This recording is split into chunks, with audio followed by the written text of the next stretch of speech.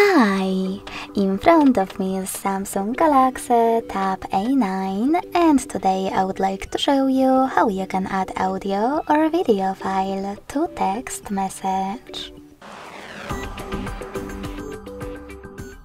First of all, open Messages app and select or create a chat. Then tap on this little icon of a photo and the paperclip at the bottom right corner. And then select audio or videos filter at the top. You can also access one of those files in one of your apps or click on those three lines at the top left corner and tap on one of those sources, like downloads. After locating your files, I will go with my audio one first.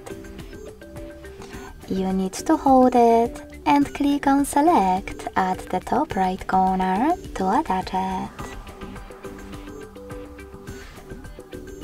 Then do exactly the same with your video one. Thanks so much for watching. If you enjoyed this video, don't forget to leave a like, comment and subscribe. Bye!